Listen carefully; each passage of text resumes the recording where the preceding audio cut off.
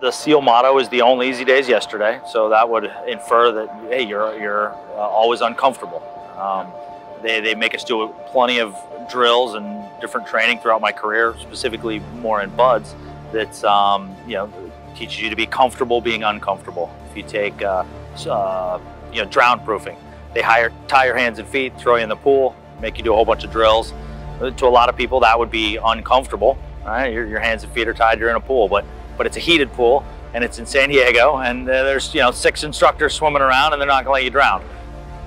It's six months long. It's, it's big, it's overwhelming, but uh, I broke everything down into one bite at a time because if you if you focused on hey look how am I gonna get through six months that would be much too overwhelming for me. So right. I broke everything down into one meal, one bite. So hey if I could make it to breakfast, awesome. If I can make it to lunch, even better dinner, okay, cool, let's see if I can do it again the next day. And I did that throughout my entire career, no matter what I was involved in, what I was doing, everything was down.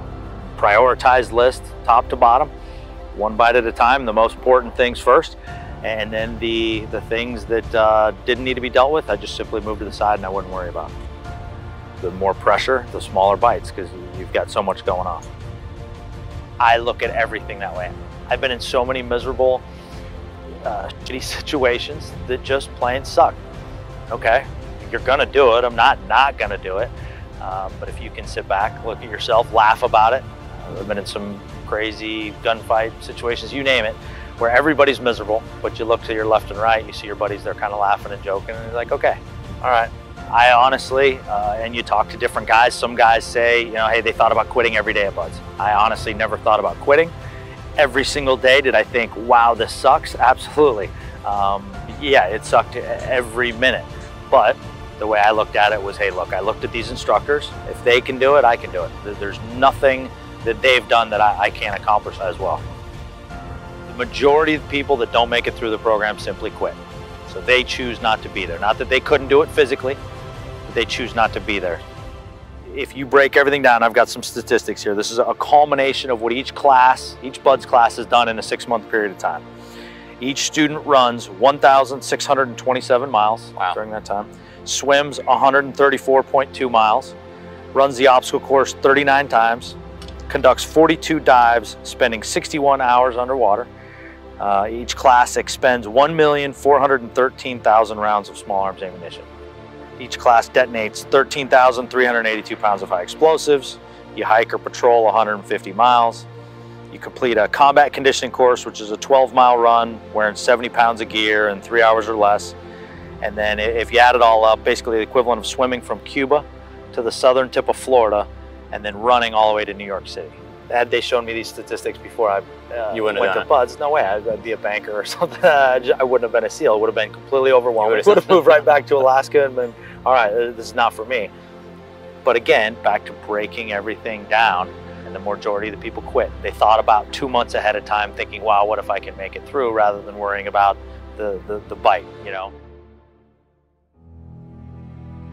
A lot of us used to laugh and joke. We look back on our BUD/S experience, and it was kind of nice because you didn't have to think of anything. It was simply do exactly what they tell you and do it at 200%. As you mature in the teams, you become a leader, then you got more responsibility.